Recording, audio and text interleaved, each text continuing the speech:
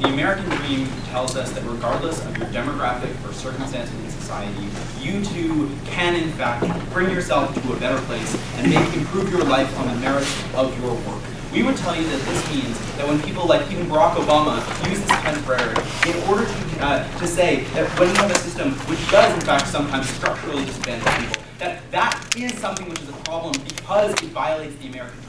We would tell you this undermines both political parties and the entire political ideology of America, that this is something which is central to us, which is something which is fundamental. They would have to tell you on side opposition for why this shouldn't be uh, part of the national uh, discourse in the way that it is. They would have to show you why some other sort of rhetorical underpinning of a country would be something which is better, something which makes you uh, have like better outcomes for individuals or society at large. We're going to bring you two arguments to that effect. The first one is about the message to the individuals. The second one is about the message to society. So first, talking about the message to, the, to individuals, we would tell you that even if this is a lie, this is an incredibly useful lie. Because while it's true that working hard might not always fix everything, it sure as hell doesn't hurt that individuals who do in fact what like are in particular positions, it is always better to be working hard at making yourself and the lives of your children and everyone around you better than it is to decide that you are in this hopeless state. And even if you go into a test where you aren't prepared for the test, you're going to do better on that test if you think that there's a possibility that you can succeed.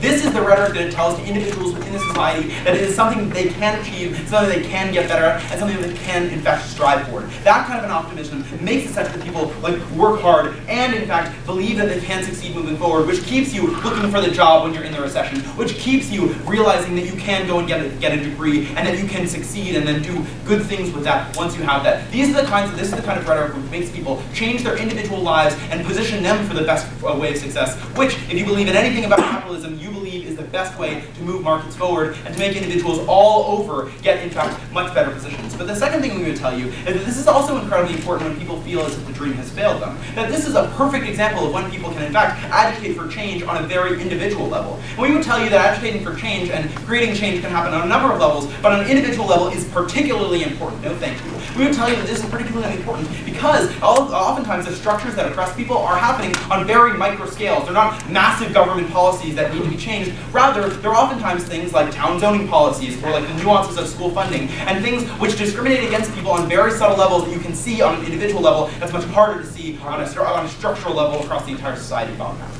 So would you say that the only way to convince people that equality is good is by putting the burden on the oppressed to fix the conditions of their oppression?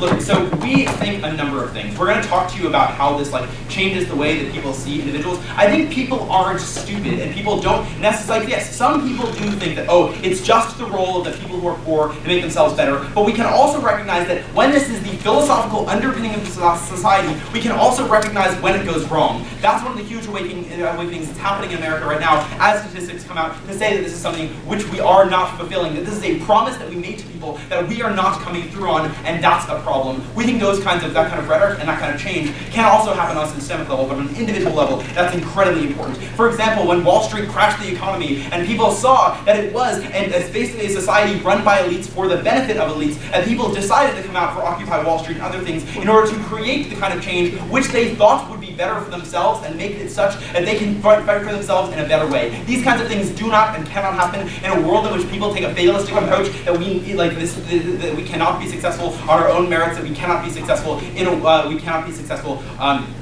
uh, on our own hard work. We think it's a combination of those things that we can both work for and recognize when there are problems with it. We think people can take a more nuanced approach than, well, it's just like we have to get ourselves out of it. The third thing we would tell you is that this also changes the way that people think about their children and the way they invest in their children, especially in immigrant communities where education becomes something which is incredibly important. People recognize that even if they can't necessarily get the kind of success they want for themselves, that if they can position their children in such a place that they can find that success, that their children can then go and be successful and get all the things that they want, and make this makes it such that you stay up later trying to earn bills to pay for the college tuition. Whatever happens to be you support them in that dream that you teach them from a young age that you too can be someone who's important. Go for it. Okay, the problem in the status quo isn't like this nebulous version of the American dream that's being discussion, but the fact that Republicans and Democrats alike make it, make it seem as if the American dream is an inevitable thing that is existent and there are structural barriers. You can't have this false version of the So American it's just not true that people don't recognize that there are problems. Yes, some people don't recognize that there are problems with the way that the status quo affects individuals. Recognize this, that if this is your worldview and you can't recognize that there, are structure, that there is structural oppression in America and elsewhere, you're probably not going to stand up for that kind of that, like liberal social change that they want on their side of the house either. The people who refuse to believe that there are structural inequalities that exist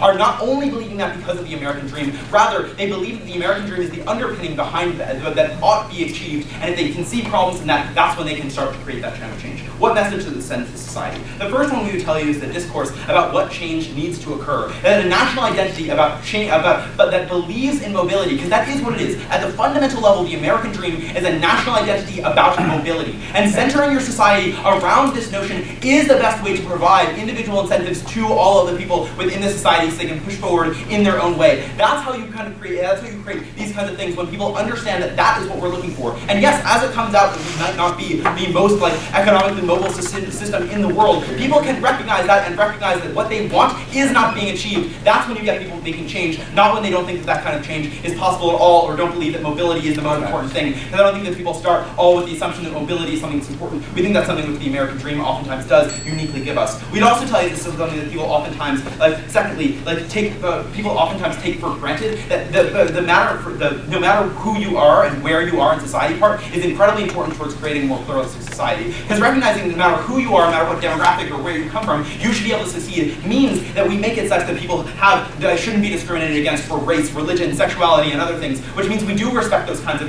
differences between individuals in a pluralistic way, which is incredibly valuable to getting people to understand themselves, their cultures, and their identities much better. We'd also tell you that on the liberal side, it makes it such that people do in fact focus immensely on what happens at the bottom and how we can grant opportunity to people who are disadvantaged. But also on the conservative side, it does in fact say that people at the top, in some way or some degree, did in fact bring this success, which is incredibly beneficial for making it such that we have a system which does reward people at the top, not not necessarily totally disproportionately. We don't think it's true that it, like the way to solve like economic inequality in the U.S. is just by taxing one percent more. There just isn't enough money there, and it isn't, but it is in fact important that we make sure that there are incentives for people at the top that makes it such that they can in fact make the kind of change and build the kind of society they want to. That's one of the reasons we have such a, a burgeoning uh, tech economy, and the reasons that people find themselves to be able to be successful in America is because they believe that if they make it to the top, they'll be rewarded. We're incredibly of Thank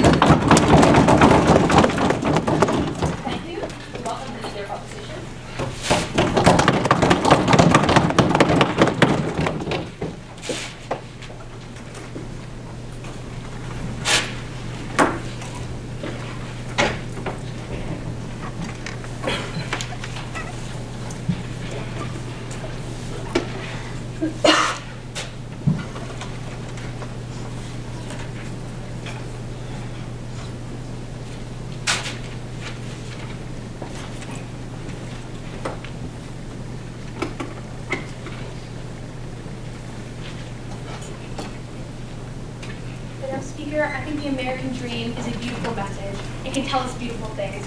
However, I think when that turns into rhetoric, when they are actual lies, and they're told to people to coerce them to do things they wouldn't otherwise wanted to do, we think this is a very bad thing. I think insofar as politicians are able to use this, that the discourse is so one-sided in the sense that people believe it to be reality, that is when you get all the bad impact I'm going to be talking about later in my speech. So my three points of construction for you today are going to be how this is a bad form of discourse and how the American dream uh, is able to perpetuate this. Second of all, the impacts of all of this. And thirdly, how this largely entrenches these social divides in classes that we see under the status quo. So let's go to refutation first, the three points construct we heard out of the Prime Minister. So the first thing they tell us is that they can see that this is probably a lie, right? But they say it's going to be a useful lie. They say it doesn't hurt for people to work hard. Two points for refutation. First of all, I think insofar as they can see that it is a lie, it is fundamentally manipulative to use this kind of information to achieve political aims, because that is largely what this lie is being used for, to create themselves some sort of like populist group advocating for the people. I think that's problematic uh, on a normative stance. But I think second of all, as I'll talk about later in my speech, is that this results in people working towards something that'll actually never come true. I think it results this that they're going to be leading to people being under more exploitation as a result because they want to be able to achieve something that might not ever happen. Second thing, tell us like people are going to advocate for change when their American dream aren't coming through. Like they're going to mobilize. People are going to recognize when it goes wrong. Two points refutation. First of all, I think if you wait until like you realize which uh, it was like a manipulative lie, you're a little bit too late. You're already in a compromised position in society. You probably wasted a lot of time working a job you shouldn't have been in. Wasted a lot of energy doing those kinds of things. Perhaps put yourself in a bad position. But I think second of all, people are so convinced repetition and loud within the political hemisphere uh, sphere that this is true. So I think that their uh, conception that like people have the natural ability to filter is largely compromised on their side of the house. Third, it changes the way people invest in their children. I think people care about their children, so regardless, they're going to want to provide what's best for them. But I think moreover, when you combine this poor conception of the American dream, plus some sort of generational perpetuation of this, that's when you get all those bad things I'm going to tell you right now in my constructive. So, first point, this is bad discourse. I think Britt and I would largely tell you that the conversation that is happening in the political sphere regarding the American dream is just fundamentally untrue. Why? Two reasons. First of all, it's one-sided. I think it would be a little bit better if the Republicans, for example, said the American dream was true and the Democrats were like, hey, it's not. But they don't. They both employ this. Why? Because I think it's just like great rhetoric to be able to stand up in front of people and be like, I am a populist leader, I work for the people, I advocate for those, and I believe in a dream. Both sides are going to want to use that kind of rhetoric. No thanks. Therefore, they have the incentive to use the lie that government concedes actually exists. I think the problem with this is that it becomes an, uh, an unquestioned and painted as the reality. So everyone in the rest of the population are going to believe this American dream exists because both sides of the house agree with this kind of conception. And like realistically, when does that ever? Second thing is that it's just not true, right? Uh, I can take back that first. So would you rather have politicians run on a platform of not being able to achieve social mobility at all? What would you have I think say? absolutely not, but I think you can not employ this kind of poor rhetoric and lie to be able to achieve those ends. I think that's fundamentally manipulative. But I think why it's not true is because this isn't like the frontier in which we have wide open opportunities. I think being able to be successful relies on a few things, besides just being wealthy. Relies on a lot of luck, I think. Largely, you must be exceptionally talented if you're in a poor class to be able to achieve any sort of, maybe even a chance of being able to, to achieve something better. But I think thirdly, and most importantly, is that there are structural barriers that exist that the politicians just simply don't recognize, not in the discourse. I think that's a problem. For example, racial profiling is absolutely still a big part of being able to be successful, right? When you have to work so much harder and maybe even not achieve those ends just because you are a different weight race than the majority or your boss, right? I think insofar as it is a statistical near improbability that someone in the lower class will be able to achieve something greater, something that the politicians paint with their beautiful rhetoric might happen to you or probably will happen to you, it's going to be a problem and that is a lie and you're not okay with that. All right, second, impacts and bunch. First of all, I think what it does is it encourages hard work that's going to lead to something that'll never occur. So what ends up happening is individuals say, I want to be like that and I will do anything to get there because it has there I have a chance at being able to achieve that. What they end up doing is being able to be more complacent, right? They accept poorer working conditions, lower wages, maybe no benefits. They undergo more workplace abuse as a result of that because they think that this is all going to be worth it in the end, right? I think because they have this dream of bigger hope, they're more willing to put up things uh, with things now that they really shouldn't have to. I think this is especially bad because it leads to just individuals having a lower quality of life when they don't get better healthcare benefits, when they're having to war, uh, live off of a lower wage than they ought to. I think this is bad. But I think second of all, it encourages individuals uh, in this sphere to become more complacent in politics. Why? I think it's because they have this idea that one day I'm going to be rich too, so I'm going to benefit off of those policies that aren't benefiting me right now, right? What ends up happening is a few things. First of all, you're going to be more willing to accept regressive policies. For example, you're going to be more willing to be okay with the rich being taxed less because you're going to say, one day I'm going to be in that 1%. I'm going to be able to achieve those kind of benefits, so I'm okay with that happening right now. We see that all the time. I think second of all, what's going to happen is that like you're not going to mobilize as much, right? So you're going to have less political impact as a result of this and less change that benefits you under right now the status quo, which is likely how you're going to be for the rest of your life, sadly. I think lastly what ends up happening are good things that advocate for you, like unions, are more likely to be challenged. Uh, you're going to challenge them more because of all the things I just told you about. Last thing, how this entrenches social classes. I think Brett and I would say that the biggest irony of the American dream is that it's the biggest obstacle for it to even being true. I think the impacts I just told you prove why people react the way they do. And I think this has a couple of problems when it comes to being able to achieve some sort of, uh, uh, or decreasing the, the divides between social classes. First of all, I think as a result of this, the wealthy are more likely to stay entrenched in the elites when they're consistently not being questioned, when they're consistently getting policies that benefit them most, right? Here. Because the poor people are more likely to support them because one day they might achieve that same thing. But I think second of all, a result of this is that you're not getting good discourse because politics are always going to stay the same. The elites are always going to re-elect the same people because they can. And I think the lower classes are going to simultaneously also be supporting those exact same people that benefit the elites the most. So when you're able, you don't get the counterbalance you want to be able to see in discourse of politics, especially when the majority of that is being uh, is not having the, the policies that best uh, help them the most. I think then you get a very cyclical problem in this case that is very harder to break. I think the longer this kind of conception of the American dream exists, the harder it is to rid ourselves of the bad impacts that come about of this, right? Because we see less protections for workers because they keep decreasing. We see differences, uh, or sorry, the differences between money and politics uh, keep staying the same or getting even, or, or, or getting even worse, right? I think under that, to our side of the house, we're able to uh, hopefully be able to rid ourselves of that. Mr. Or Madam Speaker, I think because we have bad discourse, because of all the impacts on the individual, because they will never achieve the American dream, we do not stand on the lie. Very proud to oppose.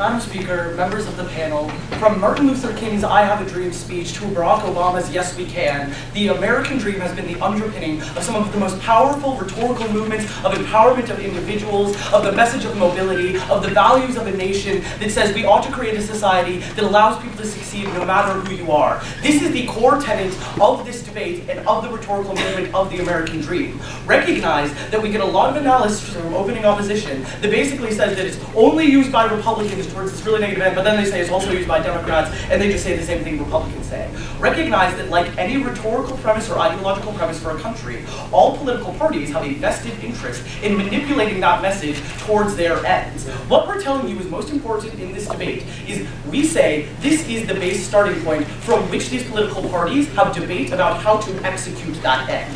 The end is mobility regardless of who you are. They need to tell us, and we even press them for this on a POI, what the replacement for that ideology ought to be. Absent the American dream in the power vacuum of ideology, what should we say we value as a country? Because there will always be conflicting political parties that are going to have conflicting notions. Because recognize, it's not that the Republican Party just says fuck poor people, and the Democrats say fuck poor people a little bit less. It's that they have genuinely conflicting and legitimate views about how best to advance that goal. What's important is with the American dream, that's the goal in the first place. It's not about having an aristocracy of elites that rules from the top down. It's not about any of those unfair and entrenched ideologies. So that's the burden that they have. That was like my first point about politics and the way that it interacts with these things. I think that it's hugely important that we understand that this is the base premise from which we operate on how to best execute those things. For Republicans, it might say lower tax on the wealthy to create jobs for the people at the bottom who then work themselves up. For the, uh, for the Democrats, they might say social safety nets to make sure that structural disenfranchisement doesn't mean that any student, because of the color of their skin, gets a worse education. Those are lively and interesting debates. And shockingly, this leads to those debates. It leads to that discourse. And we've seen that it actually creates nuance within that discourse. Because recognize that when people have to come to the table from that base assumption that we want to have mobility, people like, like last week, Bill O'Reilly and Jon Stewart came on TV and both acknowledged that white privilege exists. Like Bill O'Reilly, the Republican pundit of all time, is like, yeah, this is something that impedes against my core ideology. Because recognize that what's important is despite all of these political divides, people will usually go back to the common denominator of being an American, of eagles flying over mountains and believing that brown people will be able to succeed, not just be excluded because they're brown. That's really important, because that's how you get Bill O'Reilly to come on TV and say white privilege is a thing and change the minds of all of the like grandparents like mine who watch Bill O'Reilly and are like,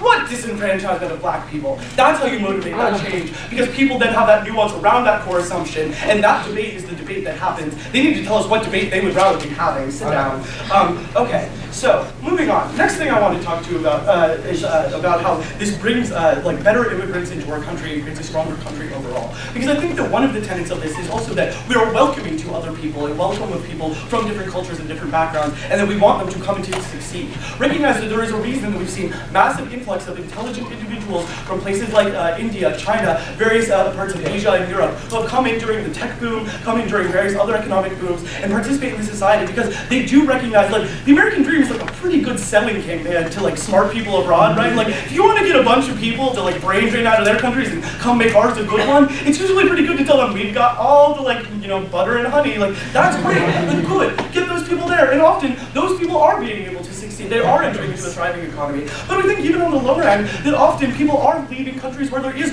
greater amounts of oppression, where you don't have a guarantee that you're going to be able to be respected because of your religion or because of your ethnicity. And then we often become a safe haven for people like that. Like recognize that like Bates is in the middle of like a place where there's a huge refugee population from Ethiopia, and recognize that there is extraordinary amounts of hard work, and that people participate in like various institutions, like Free Street Youth that helps tutor them and raise them up because they believe that America is a place where they can succeed, whereas they would have been persecuted and executed in another country. And we think that's valuable, and we think that that's a valuable thing for bringing hard workers in, because we saw the immigrant populations are also what built this country, and the melting pot and the American dream was responsible for that in many ways, almost entirely. I'll take that back. So that's one impact. But when waging war, the U.S. often cites the thing the American dream as an example. Yet it then coerces poor people to fight on that behalf, promising advancement when they often die, get maimed, or don't get advanced in the process. Isn't that unjust, self-defeating, and worse? So I think that they're going to have to do actually more to link how the American dream sends us to war. I think that that's like a bit of a leap. But insofar as we're talking about people who are lower down serving in the army, so like, first of all, the military is a huge location of mobility for individuals, and recognize that they may be buying into an area of risk. But I think that insofar as we provide that as one option, a way for people to elevate themselves, they would need to tell us what the alternative of destroying that institution is, and what they would rather have those people be doing, given that many people like like, don't just assume that people are so stupid they can't make their own adjudications on how they want to actually elevate themselves in their lives. Um, okay. Um, but lastly, I just want to talk a little bit more about, I don't think they actually address the benefits to individuals. Because we tell you, like, what do you tell to someone who is from a very impoverished part of the community or from a marginalized community? Because we were talking to a young African American male who has every reason to believe everything is stacked against them. And they say, should I try to go to college? Should I try and be in high school? The American dream is a voice of optimism and a voice of support that says your nation is behind you and trying to pursue being a better person, rather than a fatalistic one that says you should simply give up because the society is failing you and you should fail them. And recognize that I don't think that they grapple with how this does agitate people for individualistic change. They were just like, no, the American dream just blinds us all completely into not seeing when we're getting screwed, and it's just too late. Like, people don't wake up when they're 80 and be like, God, I never got that house in the Hamptons. Like, people are mad now. People are tired now. People are in the streets now. This is what we're talking about, and this is the agitation that we get. So now, a bit of explicit refutation.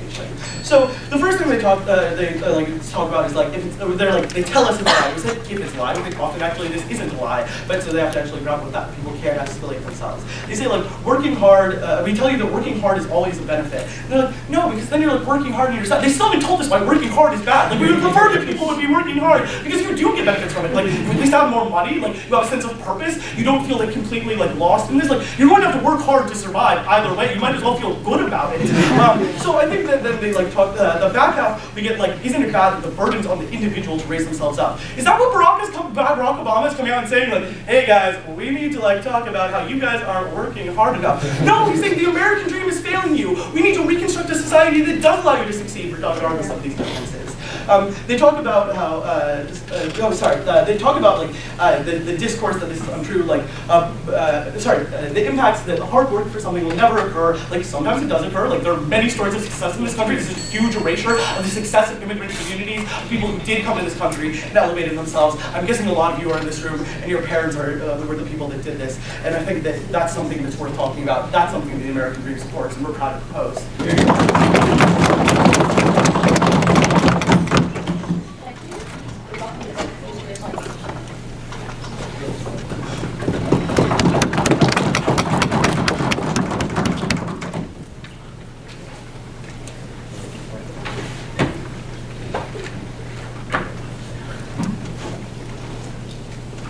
Madam Speaker, when Bill O'Reilly finally admitted, after about 17 infuriating interviews of denial about white privilege, that that actually existed, what was his response to white privilege and the response of a large majority of Republicans to the existence of that policy?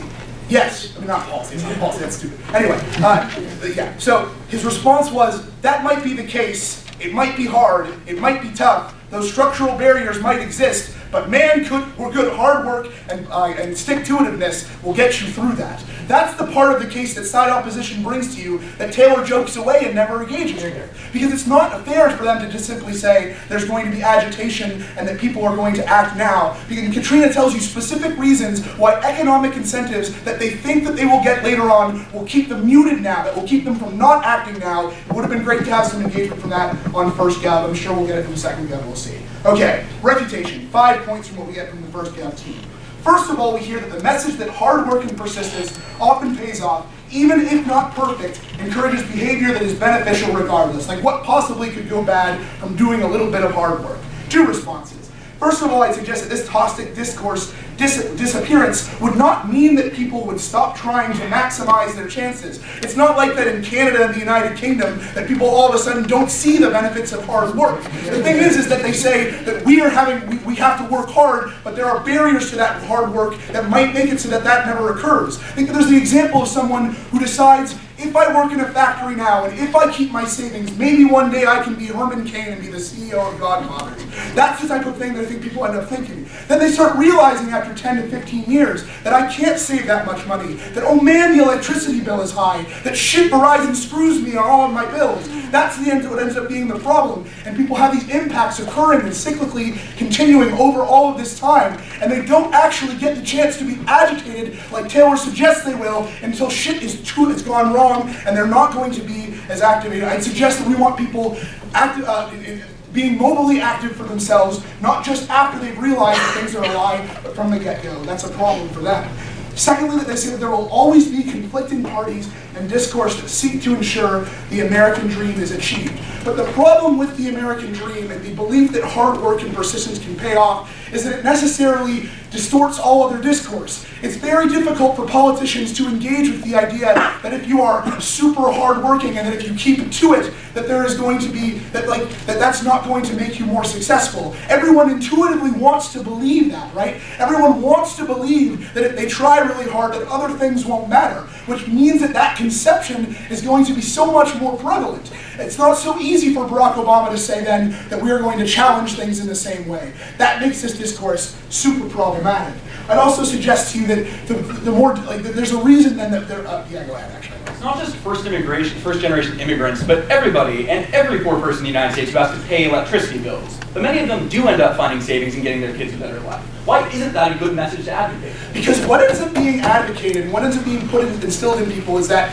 if you are a rich person and you work hard, and you are a poor person and you work hard, that you have similar levels of success. But what Katrina tells you is that if you are a poor, poor person and you you are going to be successful largely in only a couple of situations. If you are transcendently talented, if you work like incredibly hard, whereas if I'm an average person born to a rich family, I can achieve probably similar things to that individual. I think that that's the problem with the discourse, and that's why you end up getting that. Republicans love to hold up the picture of the person that transcended and that came from the bottom. The problem is, is that nobody else is holding up the 20 other pictures of the people that just got too uh, objective, got too depressed about things and didn't want to continue. Not everyone can persevere and work hard through that. Third, they tell you that great thing that, uh, that it's a great thing to bring people here and have uh, and encourage people. And this is a haven for success. And that why would it be bad to get people from India to come to the United States and be able to share that dream? I'd suggest to you that me and Katrina would have far preferred if those people had not chosen to go to the United States and stake their fortunes, but to another Western liberal democracy where those structural barriers were less enforced, where those structural barriers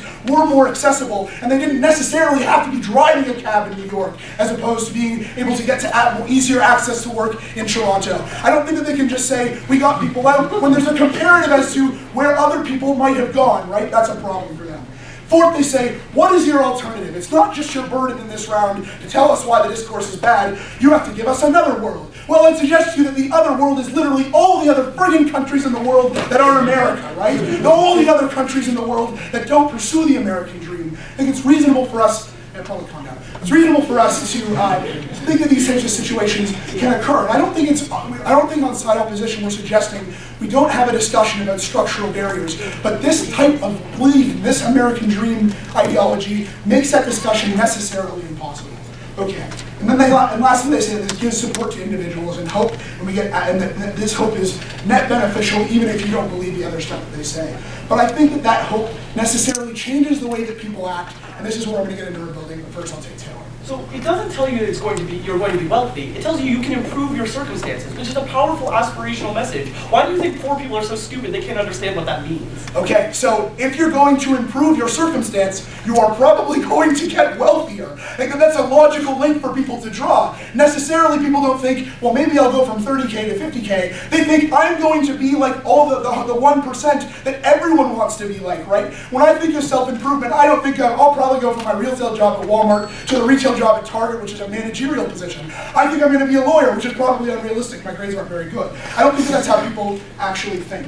But what does Katrina tell you specifically? She tells you that this encourages the way that people act politically and the impacts that necessarily occur. Because I think that people are less likely to mobilize for their own specific interests when they think that there is long-term gains that could be wrought, right? When you think that in the long term that you might be someone who is rich, that those, that those policies might benefit you, that you might even be marginally more wealthy, that necessarily leads individuals to not advocate for certain policies that would benefit them or people like them. That means that you have less ability for social mobility to uh, be uh, to, be, to become more strengthened, and that you get more, uh, you get less wealth inequality.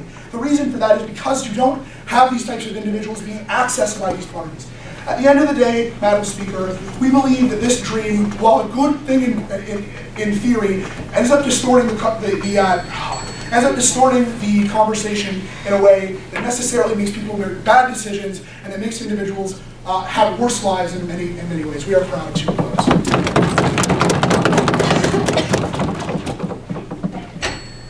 Without calling the number, please.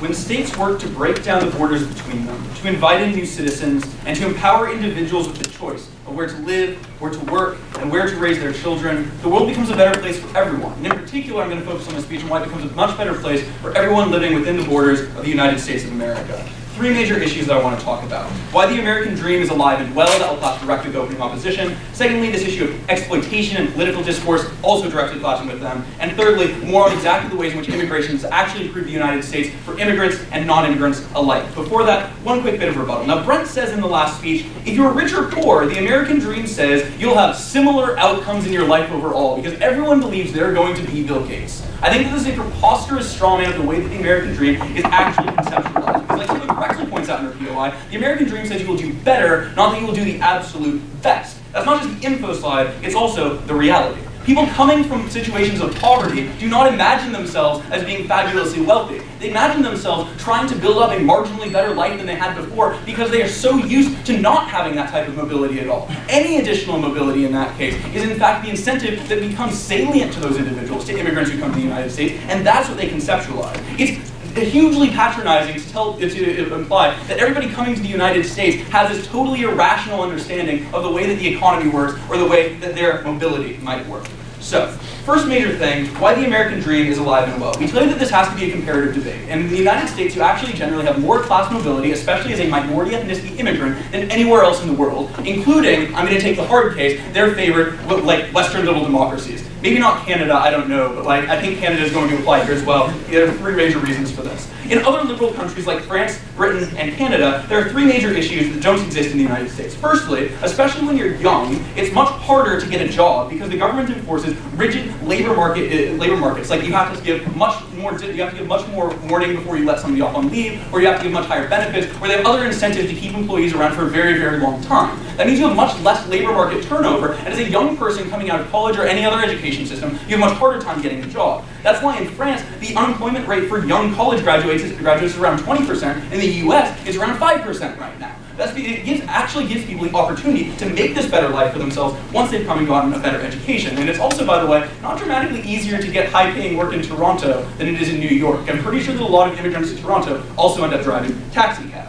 Secondly, we tell you it's harder to gain social mobility in these other countries because they were often founded, maybe not Canada specifically, but most other Western liberal democracies, on rigid class systems, right? So as a great example of this, you can look at like the public school Oxbridge uh, system that exists in the UK right now. Basically, like if you go to a really prestigious private school prior to going to college, you're almost you're most likely to get into Oxford or Cambridge. And two-thirds of cabinet members in the UK Parliament are graduates from Oxford and Cambridge. The result of this is a massively existingly privileged class is given access to the reins of political power. In the United States, that's much less the case because we have a much more egalitarian education system, even if it does have some flaws, and much more egalitarian access to high-profile institutions via scholarships and attempts at affirmative action.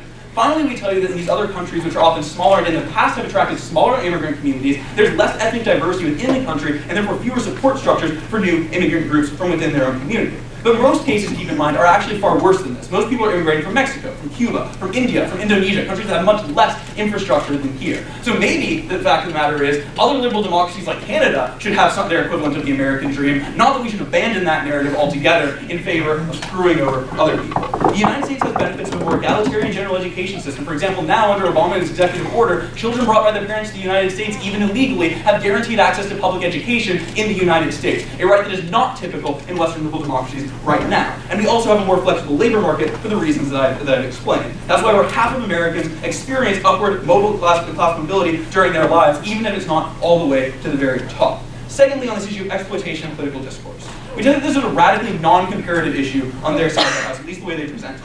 Because we tell you that there are two cases here. Either they're talking about people who are already in the United States and experiencing the way that the American dream plays out. In which case, those people do not, without the American dream and the motive incentives that it have the economic or social capital to create meaningful political change within the country. The American dream is actually why we get the critical mass to make that change. And a great example of this is going to be like the agricultural labor union movement in the Southwest in the 1950s and 60s, and various other labor market labor union movements in the 1940s and 50s. Because once you have the American dream narrative drawing people to an area and location, you get lots of people with similar interests and employment in one place and in one industry, which actually gives them the critical mass to demand change on a mass scale. But it also gets them the material wealth to organize. Because most of these people, even if they're taking low-paying jobs, even if they don't have the best working conditions, actually do end up with more wealth and more leisure time than they would have had in this uh, prior to coming to the United States, because they have the ability to actually get that organization out there. Also, we can tell you that these workers are not like they claim totally exploited. The United States, in fact, does have like basic protections, like safety laws for labor work for laborers and minimum wage that do allow this mobility to occur. OO claims that these are going to accept regressive policies, but what we tell you is that on the contrary, the American dream was the rallying cry of these movements. Now, the other situation is that people aren't already in the US, in which case we want to give people a reason to come here and create this benefit in the first place from. So give me a reason why these types of movements that people brought to try and get themselves better, uh, better results, like these ag agricultural thing that you mentioned, wouldn't have been achieved in, in the absence of the American dream. Right. Firstly, we told you that the narrative is what draws people into the place in the first place, right? Like most of people coming from across the Mexican border into the United States right now are seeking better working conditions because it's something that we promise and tout on an international scale, right? That's what allows us to get this critical mass in that allows for these, this organization to happen. Finally, we tell you under this that this is, the American dream is a way that we actually do hold politicians to account. Firstly, because we get like Democrats and Obama saying, look, the government has an obligation to help you satisfy the American dream. Like when he says, if you built a big corporation, you didn't build that, we all built that, right? That got some pushback, but that was the discourse. And by the way, Obama won that election because Americans do care about governments supporting this insists that people get credit for their achievements once they have them, so that once immigrants are successful, we give them credit for that work, which opening opposition doesn't seem to want to do. Finally, I want to talk a little bit more about how immigration is good for everyone, because we get hard workers, and we do get, by the way, the rare geniuses. Historically, for example, Scots, Irish, and German immigrants in the Midwest built up most of our industrial base, which led to economic growth and the development of the country overall. Albert Einstein was a German Jew who contributed more, more than almost anybody to the development of nuclear technologies that are useful in medical research and energy, and also to physics and academia generally. And right now, we tell you that dreamers from Latin America are coming to get education under Obama's executive order that's developing cross-cultural interchange and evolution, including things like rich cultures like Tex-Mex, California Mex, and Southwestern Mex, and the impact, uh, similar to this, of South Korean, Vietnamese, and Japanese immigrants in Hawaii and the West Coast. This leads to technological innovation as well as immigration genius. So Sotomayor is a great example, a second-generation Latin American woman who grew up in poverty and is now on the Supreme Court. Because immigration is good for everybody in the United States particularly, we're happy to promote it.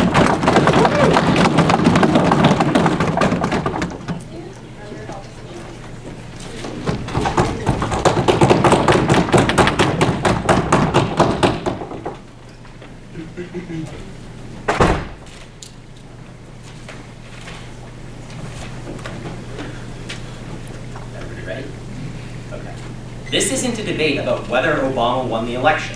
This is a debate about why he won the election, and until government shows that the American dream and the rhetoric affiliated with that was the causation for Obama winning the debate, and simultaneously the causation for people like Bill O'Reilly actually changing the mindsets that they have, they don't demonstrate that this is actually the meaningful tipping point for how people perceive of people of the lower class. It's not enough to merely say that this is intertwined with issues of mobility that exist in the status quo and are causing progress. It is the burden of government to demonstrate that this is the catalyst for progress that led Obama to be elected and that led Bill O'Reilly to finally become one iota less racist. The only way that they think they can show this within the context of the round is the counter narrative that emerges in response to the narrative that is championed by the majority of Americans surrounding the American dream, and that is the oppressive one. Why is the majority opinion the oppressive one, and why is the counter narrative so ineffective? First, we see the corporatization and the influence of the market upon the dominant narrative. Why is this uniquely important? We see companies like Ford integrating the notions of the American dream and what it means to be rising through and what it means to be working class American upon the people, which basically fetishizes the idea and establishes that the working class poor can basically be Ford Americans. But simultaneously and secondarily, we also think it's been enshrined as a part of the American tradition. We think it's become hard to speak out against the American creed and simultaneously against the American dream because it's seen as counter-nationalist and it has a chilling effect on speech in circumstances where people would have been Bill O'Reillys and been one iota less racist, but are now afraid of how people will perceive them when they try to challenge notions that are fundamental to our American identity, leading them to no longer make these statements and leading them to not even internally challenge notions about what it means to actually, truly be mobile. That's why the counter-narrative fails. Simultaneously, the counter-narrative fails because the people that are making the counter-narratives are not the ones with political success in society or the means to actually make meaningful speech acts that people will perceive as actionable. I'll take take. So the debate happens around the American dream, and that's good. Why do you want more people to criticize a creed of mobility? Because you're not getting mobility through the American dream, you should probably criticize it. We think that if you're telling people you can be mobile and creating a false sense of solvency, you get less advocacy, as opening opposition said, for things like unions, but secondarily, it's victim blaming, as we very clearly pointed out, in situations where individuals don't actually understand what is the causation, and people focus on equality of opportunity instead of equality that is fundamental and not centered on wealth, meaning people focus on the idea of having equal opportunities regardless of the alternative variables, whereas our side says, maybe that's not the right way to go about this, maybe we should say that we should focus on the structures, not merely providing people opportunities within these structures that render it impossible to actually use the opportunities. Three points of substantive then refutation. First, I'm going to say how and why it's always abusive, then how we perceive of mobility as a result, and then how this creates and re-entrenches cycles of oppression. So first and foremost, why it's always abusive. We've heard base-level rhetoric about how rhetoric is bad and how rhetoric is coercive. But as we all know, rhetoric exists throughout all parts of society. Taylor, this is true for you. You don't say, what, say why it's unique rhetoric, nor does opening opposition. The reason this is so particularly unique rhetoric is the same reason that it has become entrenched as part of the American tradition. It has become linked with our fundamental legal history and with our nationalist identity that we are a working people that are going to strive hard and focus on actually challenging the oppressors that are external states and saying we are the best. We think this is part of the American we are the best narrative that leads to us being, one, materialist, but two, materialism leading to imperialism, where our own sense of us succeeding wealth-wise and in terms of our material possessions leads us to believe we have some degree of entitlement towards these sorts of things. Secondarily, there's the same argument about fetishization. We think that people are afraid to challenge these notions and don't even challenge them internally because they take them as fundamental truths to who they are as citizens. We don't think you get people actually thinking about why Obama said that that was a part of the American dream. We think they vote for Obama for other reasons. We don't think that they got engaged.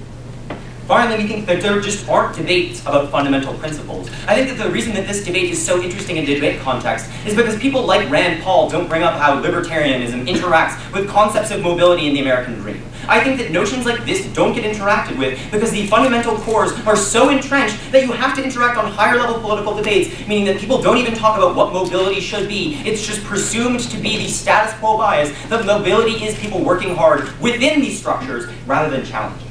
Then let's talk about how we perceive it. Opening government says this is a debate about ideology and what we value. So remember that we have to consider how these values are portrayed and actually internalized. We'd say even if you say that you're prioritizing equality, we'd say that you're prioritizing equality of opportunity over equality of circumstance. The reason this is relevant is because individuals prioritize the ability to work hard in the circumstances they are given. But we think that the reason this is problematic is because that's not a meaningful way out. We get a few narratives out of closing government that people sometimes are the rich individuals that are able to work themselves out. What we don't hear is that this is the majority, that the American dream was the reason they were able to succeed. They give this example like in the 40s and 50s, there was a gold rush and the American dream contributed to this. I don't think this means that the United States rallies around the American dream leading to economic progression. I think there was a gold rush and people wanted money. I think what they actually need to do to demonstrate that this is some meaningful tipping point in terms of how we advance and conceptualize ourselves, they need to show that this is actually developing over time, and I don't think they do. Finally, on how this recreates and entrenches the settlers. So, the American dream, as opening government said, is a rallying cry. The problem is this re-entrenches notions concerning wealth as quality of life. Why is this problematic? We'd say, one, it leads to materialism, but secondarily, stigmatization of individuals that actually can't achieve this wealth within these contexts, and it actually leads to circumstances where individuals are viewed as the lesser, meaning they're not granted equality of opportunity in the first place because they're not perceived as the same citizens that are actually trying just as hard, because clearly if they were trying just as hard, the American dream would reward them with the wealth that CG says that it truly does. This is an aberration, it simply doesn't. Now let's go to strict. Opening government says that this rhetoric is powerful and better for workers because it presents a counter-narrative. One, why is this counter-narrative successfully able to challenge the dominant narrative that is entrenched by 300 years of American history, 300 years of nationalist intentions, and a very nationalist culture, but three, the pop culture notion that this is just something we're supposed to accept and cherish, and something that we should all agree upon as Americans. We think that people are afraid to challenge notions for that reason, meaning it's not better for workers. You're seen as anti-American. You're seen as just a Marxist when you try to challenge the American dream. And we think that that sort of stigmatization means that no meaningful change actually ever happens. Next, they say we don't make these sorts of changes, meaning that we actually get to political change. I don't think they actually demonstrated why political change happens. Closing government tries to present this standard that there are certain unique reasons as to why we get better situations for workers. They talked about individual situations where major issues change, and they actually got better youth employment. They don't say why perceptions concerning the American dream actually generated these changes within youth employment. I think youth employment changes when people actually recognize economic benefits to everybody, not just recognizes that our opportunities are important.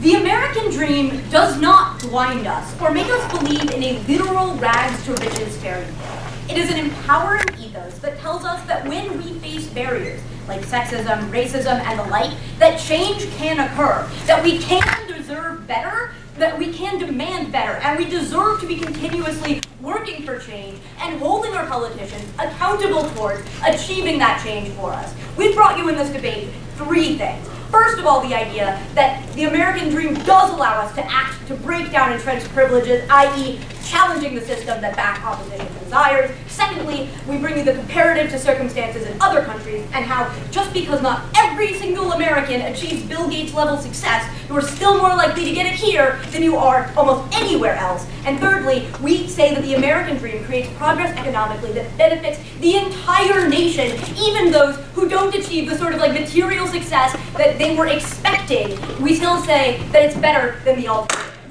So first, on how we break down entrenched privilege and challenge these sorts of power structures.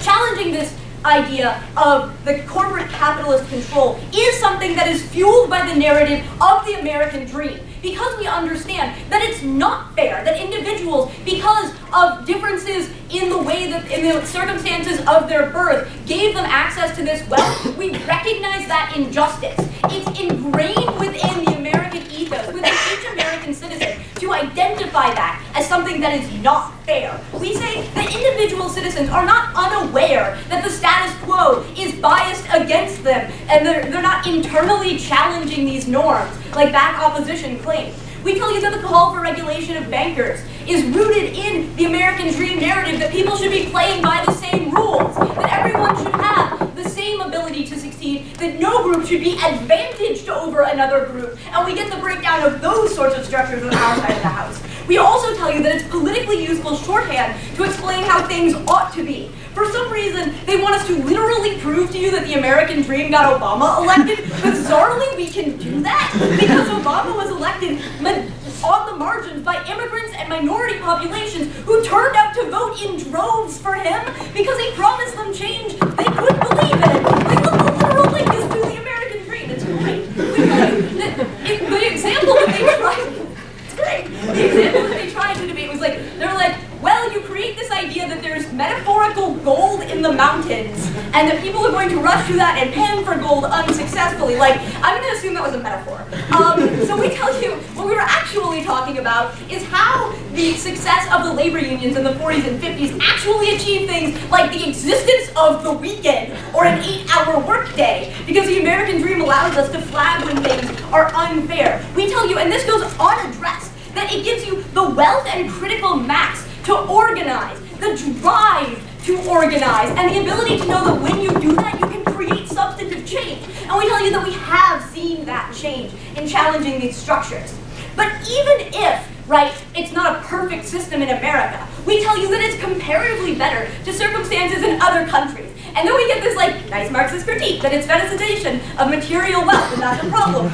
Wealth isn't measured any differently in Britain. You just can't get it if you're an immigrant. Uh, so we tell you that the comparative here is incredibly important. Because first of all, we tell you we have a system in which individuals are able to start working for their success, planning for their success at a young age, building these skills and attitudes to keep moving forward. We haven't gotten any argumentation out of the bench as to why hard work is a bad thing. We tell you that even if you don't achieve the level of success you were expecting, you build skills, you plan for the future, and your children will do better than you. You believe that and you expect it, you plan for it. We tell you also that we're different from other countries and that we literally aren't founded on an explicit class system that entrenches these sorts of norms like the Oxford funneling system into parliament. Front. But the problem is, is that when part of the American dream is founded on the idea that hard work and persistence can overcome, the idea will always be that if that these structural barriers aren't that important because if you were a harder worker, if you were more persistent, that can be eliminated.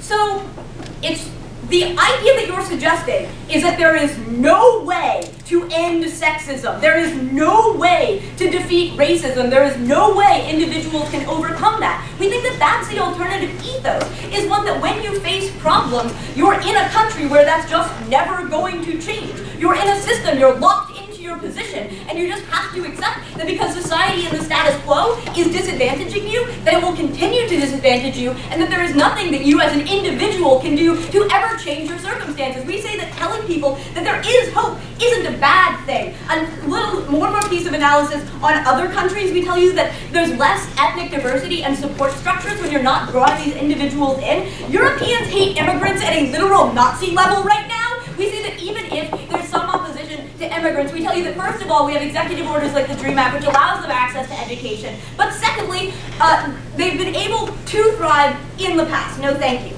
But lastly, we bring you that it creates progress that economically advantages the entire nation. We tell you that this comes in a variety of ways. First of all, through the sort of through brain drain from other countries, when people realize that the material conditions and the structural circumstances in the countries where they live are such that they will not be able to achieve success. They come to America where we've already proven you are likely to be better off, even if you are not at the top echelons of society. So we tell you that that gives an incentive for individuals, not only the elite intelligentsia to come in and build up the highest echelons of American technology and infrastructure and science and medicine, and we get all of those people who would prefer to build a life here than elsewhere, which benefits literally any citizen who ever gets access to the products that they make which are all manufacturing, all medicine, is founded on, as Griffin told you, the immigrants who came to our country and built it up from where it is to a place where it is, from where it was to where it is now. We tell you that America creates a cultural melting pot, unlike the what's called in France the salad, where you're just sort of tossed in and there's really no help for you or no, and no way to feel like you're a part of the whole. We say that the American dream allows individuals to feel like they are a part of something bigger, a part of something bigger with the ability to demand that their material conditions ought to be better. Demand it and work for it. We tell you that this allows people to feel empowered within their own scenarios, regardless of what those scenarios may be. Because while we acknowledge structural oppression on-site government, we tell you that it is useless to believe that it can never be overcome by individuals. We are proud to propose.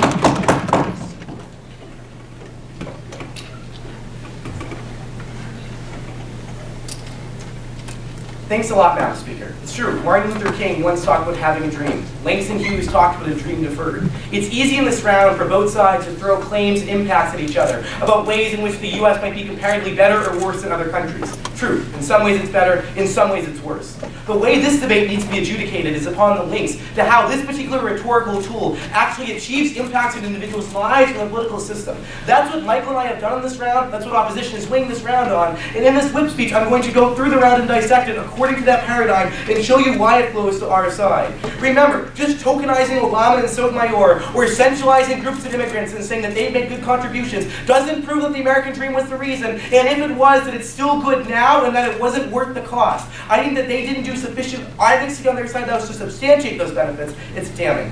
I want to start out by asking, how are individuals actively affected? We hear in opening government the idea that hard work might not always be sufficient, but it certainly pays off. And people can understand the nuance, right? They don't expect to be Bill Gates, but they just want to prove themselves a little better.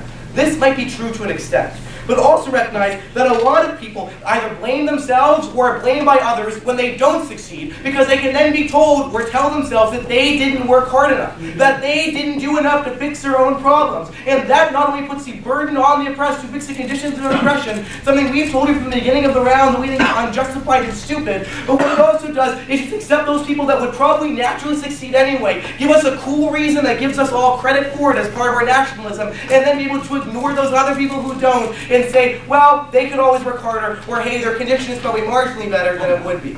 But even if that weren't the case, look at what the MG says. Because we hear this idea that Scotch-Irish immigrants were able to achieve really well, and hey, well-educated Asian workers were able to succeed in America.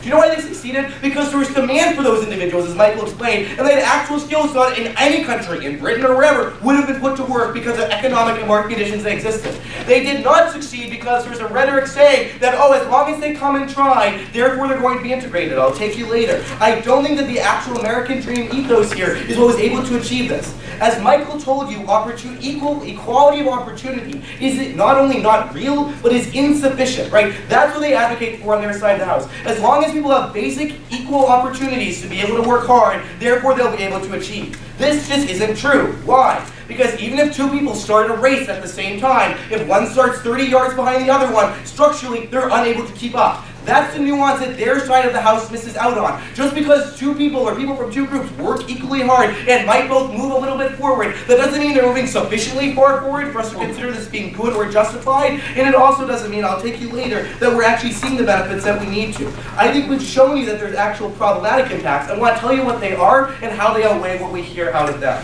So let's let's look at some of those impacts. So, first, shirt back.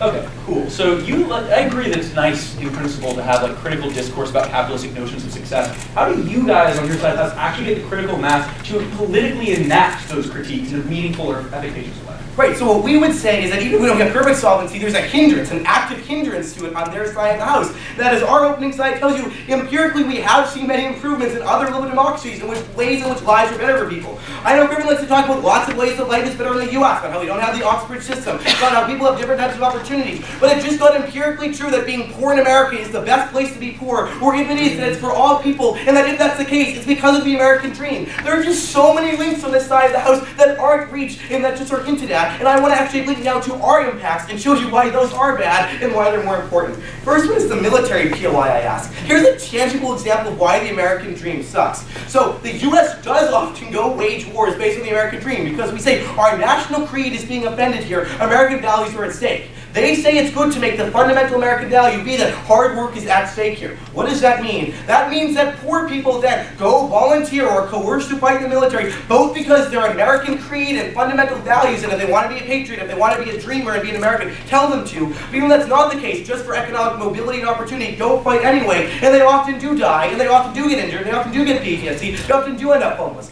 Fine, maybe the military is for some people a good source of social mobility. It would be on both sides of the house. But as Michael will tell you, look at the reasons why people do these things and ask, are they making meaningful consent and are they substantially better off? We tell you they're not substantially better off, and even if they're somewhat better off, they can't meaningfully consent to the system that often dupes and tricks them and is subverted by wealthy, privileged powers. That's problematic, and we don't think that's good. Let's say that weren't sufficient. What else? First, Taylor. So, Opp claims that it's toxic to tell people hard work will advance your place in society. Your alternatives are telling them to depend on a state that will likely fail them and has already marginalized them, or absolute fatalism. What would you tell people that want to improve I love the false dichotomy. It's like tell people to work hard or tell them they're fucking relying on the state. No, how about have a nuanced thing that says people should work hard, also the state has responsibilities, also recognize that not everyone can work hard, and not everyone working hard is going to work. Not their side of the house. We don't say the American dream in no cases has any validity. We say that as it exists as an institution, it should be regretted. That's the distinction that's around. Okay, we hear all them again that hard work is not bad. Let's talk about why that's pernicious as an impact for other individuals.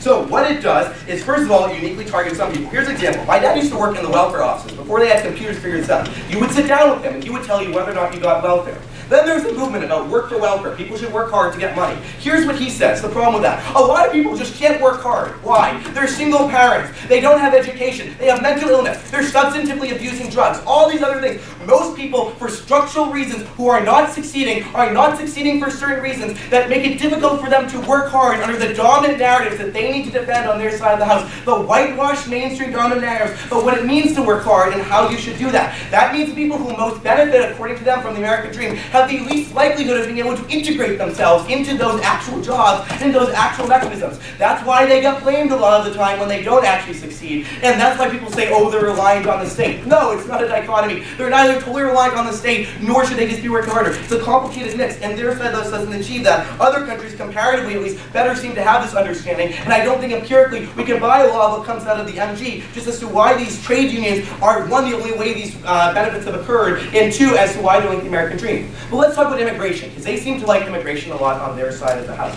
Who comes mostly as immigrants? People who have skills who are able to succeed in the market, or people who come from Latin America who come because the US is the most proximate country, not because they prefer to the UK or they prefer to France, because it's a whole lot easier to get here, right? I don't think the American dream is uniquely bringing in these immigrant populations or doing good things with them when they come. Look, there's a huge trade-off that Michael explains. It becomes difficult to critique not just the American dream, but poverty itself. When we say the American dream is a critical part of American values, and anything that kind of gets near that is seen as being anti-American. That makes it harder to get real pragmatic policy solutions. That's why people are worse off, and that's why we're proud to oppose.